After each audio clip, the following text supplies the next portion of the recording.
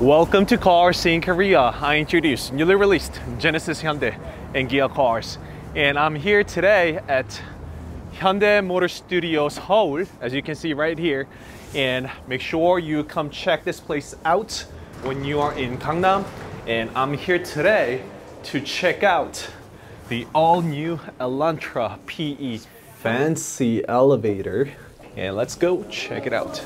Here we are, Hyundai Motor Studios Seoul. As you can see, those cars are just flipped over and actually the entire building has these cars laying around just like that all visible from the outside so we are at one of the busiest streets here in korea in gangnam and of course, we're not here for that. We're here for this Elantra. For your information, it's called Avante here in Korea. Elantra actually was a car, a different car for the domestic market, but that is the name that Hyundai got for North American market as well as the export models. It's got the parametric design right here and just bold design of triangles all around. I cannot miss this out. This is the part that shines the most. I mean, just look at that. So that is the DRL light and the LED headlamps. Regardless of the trim that you get, all Elantras now get the LED headlights. There's been a lot of debate whether that's going to be continued and also if it's going to light up, keeping up with the Hyundai look. The seamless horizon lamp that's been implemented on Grandeur aka Azera and also Kona, but as we can see, I'm getting to see it in person as well for the first time. This is actually a chrome. So this is not connected unlike how many people have been hoping. Well, I don't know. Tell me in the comment below. Do you actually like this new Hyundai look with seamless horizon lamp that connects all throughout or not? Hyundai Staria, the MPV model, that one wasn't actually connected. That is gone with Elantra. It's got a piano black finish right here, the plastic, and also chrome, but not the bling bling chrome that we know of, somewhat toned down chrome. And I bet that chrome is used on other parts of this car as well. I think we'll see more of that on the back of this car. So let's go check it out momentarily. Of course, because there are just so many design change up on the front compared to the one on the rear. Hyundai doesn't necessarily call it a facelift and often models actually get two facelifts within, right? And I'm talking about Genesis G70 here as well. This partial change is what Hyundai pursues with this brand new name and also the title. And just look at this. Check this out. Just check out the front of this car. I mean, what are your thoughts? Do you actually like the one that we originally had? Because, I mean, from a distance, it's even more distinctive because that headlight portion was striking off. It has much more steep design towards the tip of the headlight as we know, but now that is gone. It is actually more toned down, more horizontal, I dare to say low and wide. That never gets wrong, that never is old with cars. When it comes to cars, low and wide is what makes the car stand out by far the partial change model has done a great, great job with that. And you see, I haven't even gone through all the design points. I mean, just seeing this car and meeting this car in person, this is absolutely gorgeous. And you see, I'll be honest, when I actually saw the official photo released that I have posted on my community a few days ago, I was a little skeptical about the design because you see the original CN7 had a, just a beautiful perfect design overall already. Just so many people fell in love with it including the N line and also not to mention about the N. There is N coming on this PE the partial change model as well. So those of you guys curious about it I have the answer for you right now. So yes Elantra N is coming on this PE model. I think this applies the same for all the cars out there but this car even looks much better in person. Just check that out. And just look at the beautiful blue color. Absolutely love this. Elantra, I personally think, is one of the very few cars that really look good on bright, bright colors. Perhaps the reason why is because there are just so many straight and bold lines, including the profile straight here, straight up there, and one connected line right there. Love the ultimate red metallic. You can never get wrong with the white color, the Atlas white. Just looks beautiful. I'm sitting right next to Elantra literally not sure if this was the best angle I can get, but I just wanted to do it because this is what Elantra kind of feels like to me. A lot of people choose Elantra for their first car ever, probably one for the college or if not, maybe high school even. And this is a great family car as well at the same time. So this car has to entail and embrace a vast majority of population out there. This car does not let you down. Roomy inside and design is also suitable, applicable to everybody out there. Just look how aggressive this Elantra has gotten. This lip spoiler or front lip like, the design, the tip is pointing out, this little tip that goes towards, that matches with the lower part of the grille. This diagonal design actually goes into the center where your attention gets drawn immediately. So when you're looking at this Elantra in a glance, all your attention goes right to the middle. We cannot miss out this brand new logo. This is a flat, brushed out aluminum-like Hyundai logo slash emblem. The bumper, upper part and the lower part is now divided. It divides the car with a strong you see, there is a body color line running through in the middle, and separating the two distinctively. And that is the one of the largest difference from the predecessor, because the predecessor actually had the whole grille connected all together. There is just a lot of N line, if not N aspect, even on this regular regular Elantra model. This definitely is it because we've seen that a lot on Ns I dare to say that is the signatory N design. What else? This kind of gives that look of, uh, well, the garnish here, is it open? Oh my God, it is. Where are you? There. It's cut open.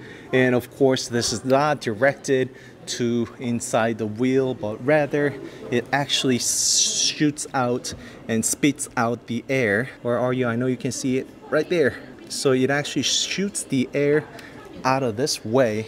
So that's been implemented and used on a lot of other Hyundai cars. Mostly has to do with getting rid of the dirty air, hence attributing to better MPG. So this is not just for the looks. I mean, it looks great as well, but not just for the looks, it's also practical. You see Elantra Bing Hyundai is not so crazy over about the coefficient of drag on this car, but you know, the lower the number of the coefficient of drag, it's always better, better MPG, better aerodynamics. So why not? I love to have that on my car as well. More on this, I mean, I just cannot skip out on the front look. Another piano black that's been used here. Just look how aggressive it is the more time I spend with regular Elantra, just can't wait to see the N version of this one. Because the headlight has been now lowered and relocated to further stretching out somewhere right here, now the fender actually had to come in a little more towards here compared to the predecessor. For the predecessor, the headlight actually was connected all the way up to here, so it was the headlight that was touching with the bonnet and also the front bumper. So there was no need for the fender to come out this much, but there needed to be for this facelift. I think it's one of a brilliant way for Hyundai to come up with saving the cost as much as possible. So all they had to do, leave out the bonnet as is, but just change out the fender and then you get that headlight. Still, we have that strong character line. Once again, another ridge right here Elantra doesn't give you any other choice but to keep your eye on right in the center right here where Hyundai emblem is. You guys probably know this already. This is the brand new emblem that Hyundai got, Hyundai will be using. A little bit of a different texture compared to the emblem, the chrome that's been used here. Chrome is not inside the plastic, but rather, so it's in between these piano black. So keep that in mind. There's a camera on the front and also sensors for your radar and also HDA. And what does that mean? Come this way, wait for this. It's right here. All right, so there's a camera on the side mirrors as well. So that means Elantra gets 360 degree camera as well. I bet this will be one of the best selling color for Elantra. It always has been the black and white. It can never get wrong, but oh my God, it's just so beautiful. Now I think we had plenty of time with the front. Did I? Did I actually? So I think we have plenty of time with the front look. Let's go take a look at the rear view. Oh my God. Why call this a partial change? I mean, it really looks different. The more time I spend with Elantra PE, a partial change. So again, this cascading grille, it's still used and found on Elantra as well. Other sensors, brilliant way of hiding it. And also one on the bumper as well we don't have the one on the sides though so let's go check out the rear Ooh, just look at that and the largest difference is the diffuser. Is it functional? I'm a little skeptical about that, but probably is much better than having nothing on there. That would also diffuse the air generated from the rear, hence the name diffuser. The tail light, they stay the same.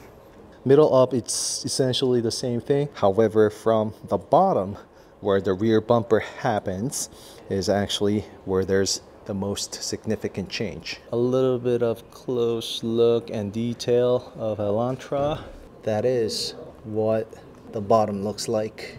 So in order for the diffuser to be really practical, it actually has to be connected from here all the way to here and the undercover needs to be connected all throughout the underneath the car. I mean, it's for the looks probably for the most part, but better than nothing. Unlike the front, this rear is not open. It's finished and it's actually blocked with a plastic piece as we can see. The rear reflector is much longer on this one. Everything gets sucked into the middle. Elantra draws our attention to the middle from the start. I think it's a much better balance and pick and choice with this PE model. What do you think? Drop your thoughts in the comment below. Over here at C-Pillar, this is the finish that we see. I've seen some other photos and other trims of the cars and that might not be the final production model, but this whole black portion, the plastic part that we see, it actually was piano black on some other models. I'll go check it out with the other cars, but we will get a plastic finish with this. And of course, I can definitely feel the texture here. Don't worry too much. It's not going to bother you all that much with the car wash. No dirt is gonna get stuck in here. So don't you worry about that. Maybe you could say it's all dull and boring using that bold plastic. It's not even piano black. However, Elantra wrapped it around with the chrome, the same chrome that we saw on the front bumper on the belt line as well. A lot of cars actually have the belt line quickly rising towards the end. Things that are steep towards the back, it kind of makes the overall car look more speedy, sporty and all. However, that is not what Elantra has. Instead, it has the horizontal line, the belt line that connects all the way like this chrome finish all throughout the belt line as seen on the front of the car that unified look I love that touch. So I told you there would be another chrome used on the other parts of the car. So it was the belt line. And let's actually go to the back of the car and see if it's used uh, elsewhere. And yes, of course. Um, all right, so this is not exactly the same chrome as used on the belt line or the front, but it's a little more dull. This definitely is not chrome, but more like a plastic finish. However, I think Elantra did a great job matching these two together, giving that all unified look from the front. The profile, the same thing, the trunk button is right here. Some other Hyundai cars, they get the trunk button hidden here, but the trunk button for Elantra is right here and if you push it that is how much it gets bumped. So it's actually exactly the same as the original CN7 and eh, is there a handle? No. So there is no handle for the trunk on this model as well. Yeah it's not a problem under sunny daylight and when your car is all clean and fresh, but usually I end up touching here to lower the trunk like so because there is just no other parts for you to hold on to. And I actually want to test out and see if it's the same thing as the predecessor when it comes to folding the second row seat. Yep, I can't do anything from the second row seat of the car, but instead you actually have to go to the trunk, open it up, and you see there's this pull so pull, there's another one there, but I'm actually saving it intentionally. Now you can, okay, all right, so I might be a little confused here, but it could be Elantra N only, but Elantra N actually had the whole seat moving all together. So you could not actually fold seats separately for the second row. If you were to fold one, you actually had to fold the whole thing down. So you couldn't actually have anybody sitting while the seats are folded. It's not the case for a regular PE model. If you were to fold that, same thing, just come around, use that lever, use that lever right here, says pull, pull it, simply just pull it in. And you probably saw it from the video, I just did it effortlessly, so you don't need to be an athlete to pull it down. And that is how much space we get. So no different, no big surprise here. It's essentially the same as the predecessor very firm and sturdy. Of course, you don't need to worry about that. And I love that white interior. One more time, pull this in. All right, now I hear the click. Somebody pulled it and it wasn't actually clicked all the way. Throw it back in like so and it clicks. You should actually hear this click like so. If you don't, that means your seat is not all the way in. The seats need to be intact like that. You're not gonna break anything, so don't worry about it, just slam it in. It gets the heated seat on the second row seat as well. ACs in the second row seat. C-type charging ports, two of them, so you don't need to fight over one. It's been this case mostly in recent cars. There's a grill, mash grill on the passenger seat. There is none on the driver's seat. So this is what I mean. I mean, you just don't have anywhere to place your hand when closing the trunk. And this was actually something that I really hoped that Hyundai would include on the PE model, but unfortunately it stays the same. And pro tip, I actually pull this hinge, you see right here, to close it like so. So usually you would have to do strong, and let me show you like so. This is how I actually was closing the trunk with the Elantra N. But mostly you will end up just touching somewhere here or somewhere there.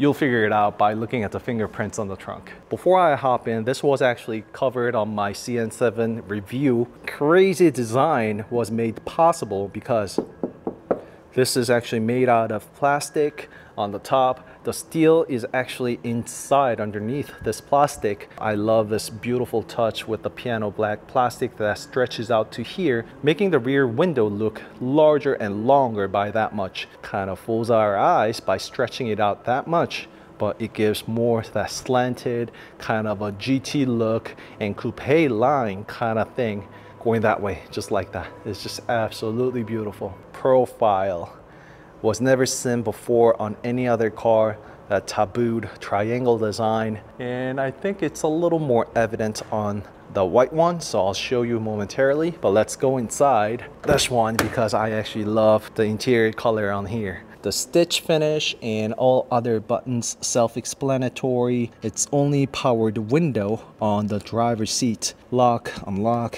uh, your mirrors. And adjust the headlight level here using this controller VDC off button turn it off when you know what you're doing and the same thing this remains as a dummy. N line it actually had the different drive modes on here. From now on the N line is mostly focusing on just the cosmetic things be it the exterior be it the interior. There is no performance difference of the engine and suspension anymore on N lines. This is just my guesstimation, but Hyundai focuses more on the legit N brand and also the, keeping the N line on the cosmetic and the looks. Again, let's go inside. The big difference at a glance is definitely the steering wheel. The steering wheel also gets this brand new logo emblem that is just slick and it looks great on the steering wheel. Let's close the door, kind of show you what it feels like. And you just heard the motor, so it has the welcome seat function to it as well. Automated seats, I can push it back like so butterfly wing kind of look to it. Definitely not a three spoke because we don't see anything in the middle. Why would you call this? Two spoke? I know you guys are out there. So those of you who stick your hand in in the middle like so and just maneuvering around, uh, you shouldn't really do it. It's always three and nine o'clock for the safest um, driving two hands on but we get beautiful HDA and latest technology for that right digital gauge cluster they remain the same so drive mode so that is what Eco, Sport, Smart, Normal. And I actually really liked that Sport when I first saw it. Carbon and also it's got the red, you know, sporty. We will soon see a uh, GUI, the very latest model that's been implemented on other Hyundai Motor Group cars, i.e. Kona on Elantra for the later models for sure definitely the full change model. But the interior the gauge cluster it stays the same for this levers here the turn signals and also the wipers and all. No shift by wire on this elantra just yet. And uniquely Elantra is this handle in the middle. And this kind of separates the cabin of the driver from the passenger just like so. And that is a way of saying kind of a hey I am driver centric driver focused if you're in the passenger seat you kind of feel left out because everything is very driver centric on this Elantra. Wireless charging pad as well as the good old things that we get the USB and also another C port and the heated ventilated seats and a lot a lot of physical buttons. Many people do like physical buttons up until this day. That is including me. I mean i really like the mix of this physical button and also the good use of digital display right there. So 10.25 inch monitor right here and it really gets the job done as well i mean i have no complaint about this whatsoever but when I actually drove cars back to back, I could definitely feel a huge difference between the 10.25 and 12.3 that's used on Kona and probably all other future Hyundai brand new cars to come. But Elantra has been a great car all around. It says right here too, engraved switch, but you can just switch it around, pull it out, make the cup holder go deeper versus shallow like that. The glove box right here, nothing fancy, nothing rocket science. Let's see if it's got the upgrade here. So the sunshade, you pull it out. So it's the same thing. You cannot stretch it out. It is going to stay right over there. So these ones, these things that I am pointing out right now are some of the feedbacks that I got from the current CN7 owners, mostly Elantra N but however that remains the same for the PE model not the wide panoramic sunroof however there is a sunroof this is what it looks like from the outside so the sunroof actually gets tucked in it goes inside instead of going up this is manual you actually have to finish closing it using manually and when I tilt it up that is what it looks like that is how much tilt you get. And you have to close it first in order to open it again. Nothing new, nothing special, just a drop down glove box. And this horizontal vents kind of a tricky to get used to because a lot of people actually go for the smartphone holders and they attach it in the vents, right? Heads up, actually get one with the suction cup and attach it right here and have it standing somewhere here. It actually works beautifully. A pro tip again. And all these I know because I've test driven Elantra N for a long time and ah boy I enjoy that car